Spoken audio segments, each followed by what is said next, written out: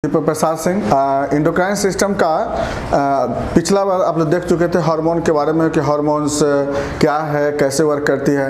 तो हार्मोन्स के बारे में आप ये समझे उस समय कि हार्मोन्स के कारण हम लोग के बॉडी में जितना भी केमिकल मेडिएटर का काम होती है वो हार्मोन करता है। मेरा बॉडी में मेटाबॉलिज्म हो चाहे एज एज की बात हो गई चेंज ऑफ़ लाइफ स्टाइल हो मेरा जैसे चिल्ड्रेन चिल्ड्रेन से प्यूबर्टी आना प्यूबर्टी से ओल्ड एज आना मेनोपोज आना या फिर बॉडी के अंदर टेम्परेचर को बैलेंस करना, ये सारे काम मेरा हार्मोन्स का होता है। यानी हार्मोन्स के कारण ही हम लोग के बॉडी में बहुत सारे काम काम काम होती है।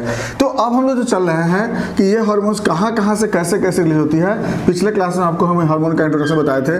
तो अब हम सबसे पहले चलते हैं पिट्यूटरी ग्लैंड के बारे में। तो पिट्यूटरी ग्लैंड जिसका कि आपको मालूम होगा, ये पिट्यूटरी ग्लैंड सेला टर्सिका एक पार्ट होता है जो स्फिनोइड बोन के सैडल पार्ट को बोलते हैं। स्फिनोइड बोन में सैडल पार्ट होती है और उस सैडल पार्ट में ये ग्लैंड जो होता है, वहाँ पर बना होता है। तो पहले से वहाँ पर एक ही ग्लैंड होता है इंटरनाइल लाइफ के समय में, जब सबसे पहले यहाँ पर पोस्टेरियर पिट्यूटरी ग्लैंड बनता है। बाद में जो होता है, ये जो एंटेरियर पिट्यूटरी ग्लैंड है फैरिंग्स का जो रतिकेश पॉच जो होता है, रतिकेश पॉच वह, वहाँ से स्केप कर करके वहाँ चला जाता है सेला टर्सिका में, जहाँ पर एंटीरियर पिट्यूटरी ग्लैंड का फॉर्मेशन करता है।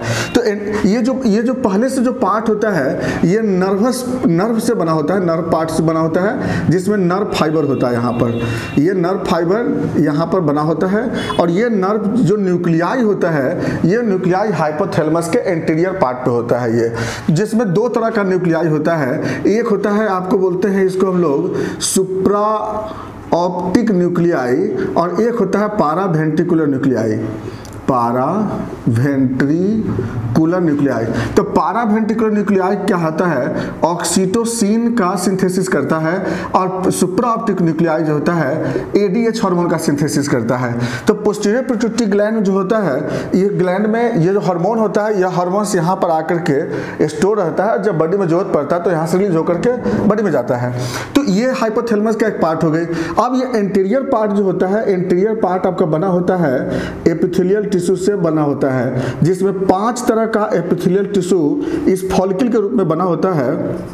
जिसको हम लोग बोलते हैं ग्लैंडुलर एपिथेलियल टिश्यू, और इसीलिए इसका नाम है एडिनो हाइपोफाइसिस कहते हैं। This is the neurohypophysis this is the adenohypophysis why the neurohypophysis because this gland are made by nerve fibre and this gland are made by anterior part of the pituitary gland made by glandular epithelial tissue तो इसमें पाँच तरह का आपको cell मिलेगा।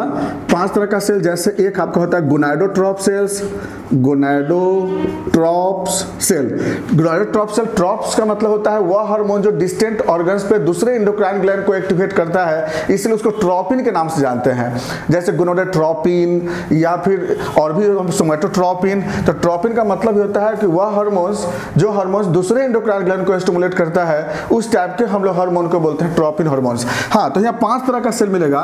एक मिलेगा गुनाइडोट्रॉप sales दूसरा आपको मिलेगा यहाँ पर सोमैटोट्रॉप सेल्स सोमैटोट्रॉप सेल्स तीसरा मिलेगा आपको लैक्टोट्रॉप सेल्स लैक्टोट्रॉप सेल्स उसके बाद आपको मिलेगा थायरोट्रॉप सेल्स थायरोट्रॉप सेल्स और एक मिलेगा आपको कॉर्टिकोट्रॉप सेल्स कॉर्टिकोट्रॉप सेल्स तो पाँच तरह का यहाँ पर सेल होता है। इंटीरियर पिट्यूटरी ग्लैंड में gonadotroph cells lactotroph cells somatotroph cell thyrotroph cells and corticotroph cells अब क्या होता है कि इस सेल को जो स्टिमुलेट किया जाता है, यहाँ पर हाइपोथैलेमस में बहुत छोटे छोटे न्यूक्लियाई होते हैं। ये न्यूक्लियाई बहुत सारे छोटे छोटे न्यूक्लियाई अरेंज होता है इंटीरियर पार्ट में। और यहाँ से एक स्पेशल टाइप का ब्लड वेसल्स होता है, जिसको हम लोग बोलते हैं hypothalamic portal system hypothalamic portal system जिसका काम होता है कि यहाँ से जो हाइपोथैलेमस में जो ब्लड आता है, उस ब्लड को इंटीरियर पिट्यूटरी ग्लैंड में उसको ले आता है रिलीज़ कर देता है। तो यहाँ से इस पोर्टल सिस्टम जो बोलते हैं इसको हम लोग, इस पोर्टल सिस्टम से हाइपोथैलेमस का हार्मोन्स यहाँ पर आता है। और यहाँ पर जो होता है न्यूरल ट्रैक्ट बोलते हैं posterior neural tract this is the portal tract this is neural tract तो इंटीरियर पार्ट में होता है पोर्टल ट्रैक्ट इसमें होता है न्यूरल ट्रैक्ट तो इसके द्वारा हार्मोन यहाँ पर सिक्रेशन होकर के इसमें आता है, जिसमें एडीएच सेक्रेटर ऑक्सीटोसिन और यहाँ से जो हार्मोन बनता है, वो बनता है रिलीजिंग एंड इनहिबिटरी हार्मोन्स तो इस तरह से एंटीरियर पिट्यूटरी ग्लैंड्स का में वर्किंग होता है यहाँ पर। और ये पाँच तरह का सेल है, पाँचों तरह का सेल कैसे कैसे यहाँ पर हार्मोन निकालता है, थोड़ा सा एक बार हम लोग देख लें। हाइपोथैलेमस से जो हार्मोन निकलता है वो एंटेरियर पिट्यूटरी ग्लैंड पे वर्क करता है। पिट्यूटरी ग्लैंड से जो हार्मोन निकलता है, पूरे बॉडी पे वर्क करता है। तो इसलिए हाइपोथैलेमस जो होता है, जैसे मान लीजिए सपोज़ ये हाइपोथैलेमस की बात चले हम लोग, ये हाइपोथैलेमस का एंटीरियर पार्ट की सिर्फ़ हम कहानी कर रहे हैं। तो इंटीरियर पार्ट में छोटे छोटे छोटे छोटे न्यूक्लियाई होते हैं। ये जो न्यूक्लियाई होता है, ये न्यूक्लियाई नर्व का पार्ट होता है ब्रेन का ही पार्ट है हाइपोथैलेमस तो ये जो होता है, जैसे मान लीजिए सपोज़ दैट एक सबसे पहला एक ये न्यूक्लियाई है, जो हार्मोन बनाया जी एच आर एच एक हार्मोन बनाया ग्रोथ हार्मोन रिलीजिंग हार्मोन्स इसका एक्शन जो होता है, वो पिट्यूटरी ग्लैंड पर एंटीरियर पिट्यूटरी ग्लैंड पर एक्शन करेगा। और एंटीरियर पिट्यूटरी में किस पे एक्शन करता है वो? सोमैटोट्रॉप सेल पर। सोमैटोट्रॉप सेल्स सोमैटोट्रॉप सेल्स क्या बनाती है यहाँ से? ग्रोथ हार्मोन निकालता है। ये ग्रोथ हार्मोन का एक्शन कहाँ होता है? होल बॉडी पे होगा बॉडी पे वर्किंग होगा। इस तरह से एक हार्मोन बनाती है ये जी एच आई एच बनाती है। ग्रोथ हार्मोन इनिबिटी हार्मोन्स ये एक्शन करेगा किस पे? सोमेटोट्रॉप्स पे। इसका काम क्या होता है कि ग्रोथ हार्मोन को डिक्रीज कर देना या घटा देना है इसको। तो ये हार्मोन्स यहाँ से निकला। अब अगला हार्मोन्स निकलता है जी एन आर एच ये गुनाडोट्रॉप रिलीज़ हार्मोन्स ये गुनाडोट्रॉप सेल्स पर वर्क करता है। गुनाडोट्रॉप सेल्स पर गुनाडोट्रॉप सेल से दो हार्मोन निकलता है F S H and L H ये दोनों हार्मोन्स निकल के कहाँ पे आती है? है गुनाट्स पे। और मेल गुनाट्स और फीमेल गुनाट दोनों पे अपना वर्क करता है। कैसे वर्क करेगा? नेक्स्ट वीडियो में देखेंगे इस चीज़ को। यहाँ से फिर निकलता है G N I H N I H G N I H ये हार्मोन्स क्या करता है? इस पर वर्क करता है, इसको इनिबिट करता है, जिससे एफ़ एस एच और एल एच का जो लेवल होता है, वो सीरम में, वो डिक्रीज कर जाता है। इस तरह से यहाँ से हार्मोन निकलेगा कौन? T R H T R H thyrotrophs releasing hormones thyrotrophs releasing hormone किस पे वर्क करती है? थायरोट्रॉप सेल्स पर। थायरोट्रॉप सेल्स पर। थायरोट्रॉप सेल्स क्या करती है? टी एस एच बनाती है यहाँ से। टी एस एच का वर्क कहाँ पर होगा? थायरॉयड ग्लैंड पे होगा।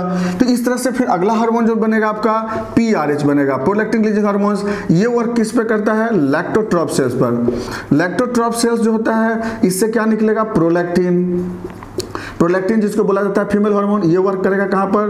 ब्रेस्ट पे वर्क करता है ड्यूरिंग लैक्टेशन और ड्यूरिंग प्यूबर्टी इसके बाद लास्ट और निकलेगा आपका यहाँ से C R H C R H hormone जो होता है, ये इससे क्या, ये किस पे वर्क करेगा? कॉर्टिकोट्रॉप सेल्स पर। कॉर्टिकोट्रॉप पिट्यूटरी ग्लैंड यहाँ से क्या निकलेगा? A C T H A C T H का एक्शन क्या कहाँ पर होता है? आपको मालूम होगा zona fasciculata layer cells zona fasciculata cells of the adrenal gland adrenal cortex का एक पार्ट होता है एडिनल कॉर्टेक्स एडिनल ग्लैंड पे पूरे एडिनल ग्लैंड पे इसका वर्क नहीं होता है।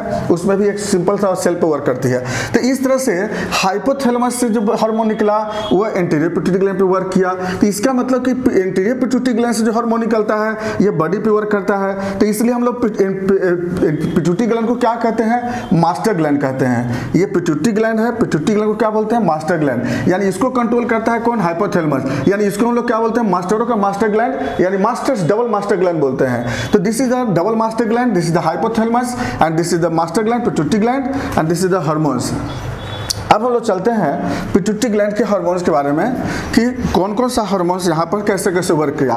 तो जो एंटीरियर पिट्यूटरी ग्लैंड से हार्मोन बना, वो हार्मोन्स बॉडी के दूसरे इंडोक्राइन ग्लैंड पे भी वर्क करता है वो।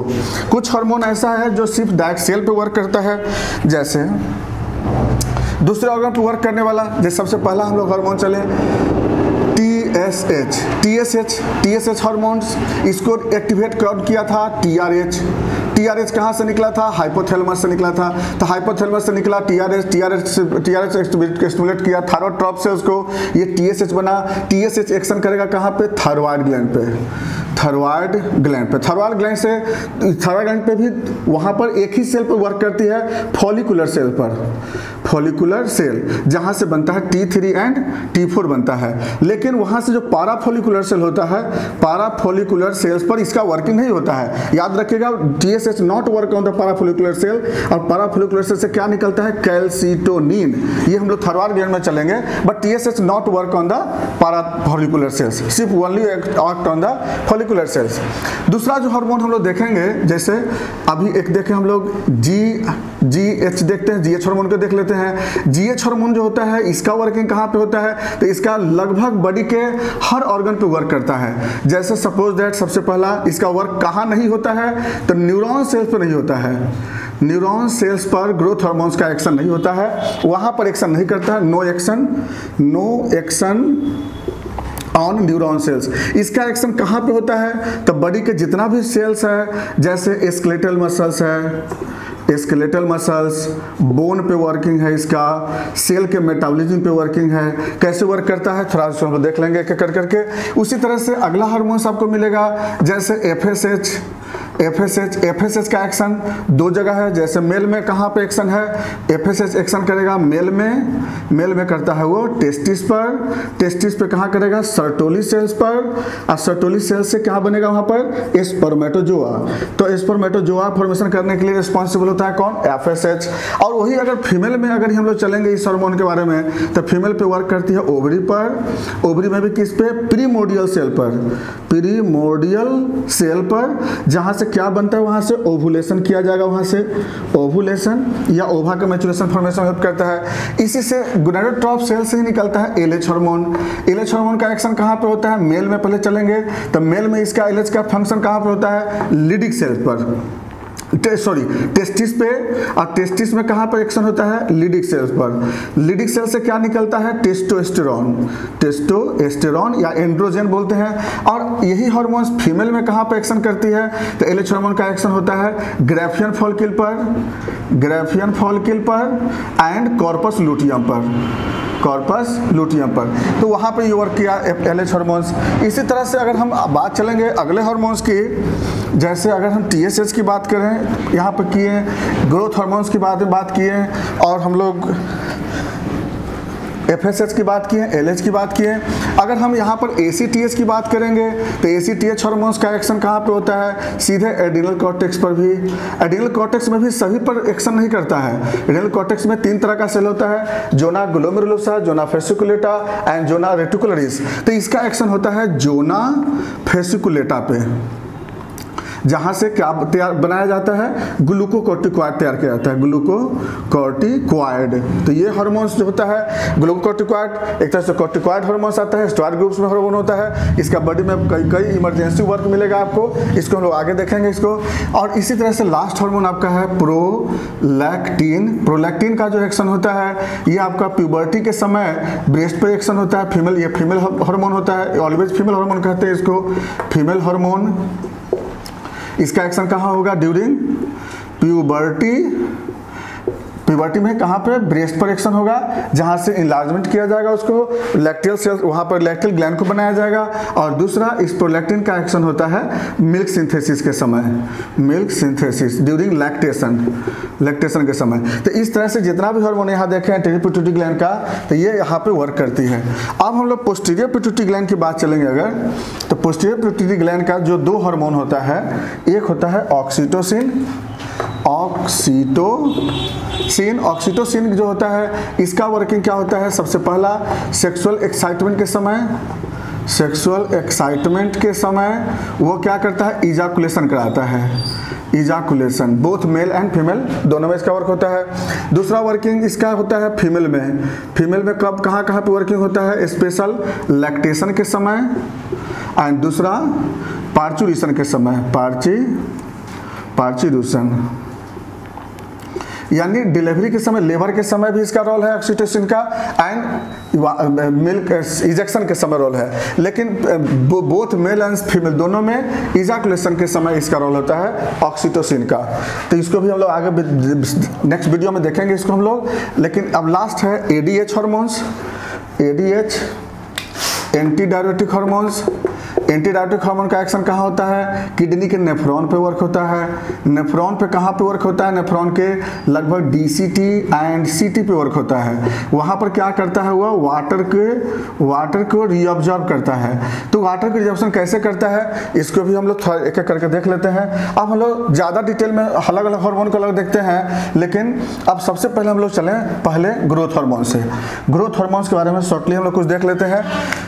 ग्रोथ हार्मोन्स हम लोग एक एक करके देखते हैं। पहले ग्रोथ हार्मोन चले। Growth growth hormone growth hormone, जिसको जीएच कहते हैं, इसका सिंथेसिस जीएच का सिंथेसिस कहाँ से हुआ?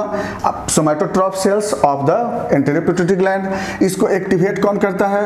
एक्टिवेट इसको एक्टिवेट करता है जी एच आर एच करता है। इसको इनहिबिट कौन करता है? Inhibit G H I H करता है। अब इसका एक्शन क्या है? थोड़ा इसका एक्शन को हम लोग देख लें एक बार में। एक्शन हाँ। तो एक्शन को देख लेते हैं, एक बार में तुरंत हम लोग एक्शन देख लेते हैं। एक्शन में क्या क्या करता है ग्रोथ हार्मोन्स तो ग्रोथ हार्मोन करता क्या है कि सबसे पहला तो इतना मालूम है कि ग्रोथ का मतलब हो गया बॉडी को ग्रोथ कराना। तो बॉडी को ग्रोथ कराने का मतलब कि सबसे पहला इसका एक्शन हमारे बॉडी के सेल पर होता है। सेल में जानते होंगे कि सेल में न्यूक्लियस न्यूक्लियस के अंदर बहुत सारे डीएनए आपको मालूम होगा, लगभग ट्वेंटी थ्री पेयर क्रोमोजोम्स होता है। तो यहाँ पर सेल में जो डिवीज़न जो होता है सेल डिवीज़न सेल डिवीज़न जो होता है उसका माइटोसिस सेल डिवीज़न के द्वारा डिवीज़न होता है। माइटोसिस सेल डिवीज़न जानते होंगे, दो तरह का होता है। एक एम होता है, एक एम होता है। एम में क्या होता है कि prophase metaphase anaphase and telophase और इसमें क्या होता है? G zero G one S and G two तो अब इसको कैसे करता है इसको सेल डिवीज़न और सेल डिवीज़न में कैसे इसको भाग लेता है? और बॉडी को ग्रोथ कैसे कराता है? तो ये ग्रोथ हार्मोन्स का जो एक्शन है, इसको हम लोग जस्ट नेक्स्ट वीडियो में देखने वाले हैं, क्योंकि इसका बहुत बड़ा ब्रोड इसका फ़ंक्शन है ग्रोथ हार्मोन के बारे में। तो इसको हम लोग नेक्स्ट ग्रोथ हार्मोन में इसको देखते हैं हम लोग।